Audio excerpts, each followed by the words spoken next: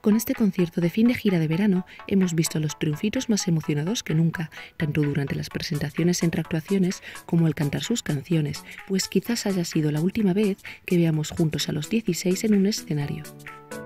Es por ello que María Villar decidía cumplir su sueño de la academia y sentir lo que es nadar entre el público, como hizo Miki en su día, pues la madrileña decidía lanzarse al público durante su actuación de Voy en un coche.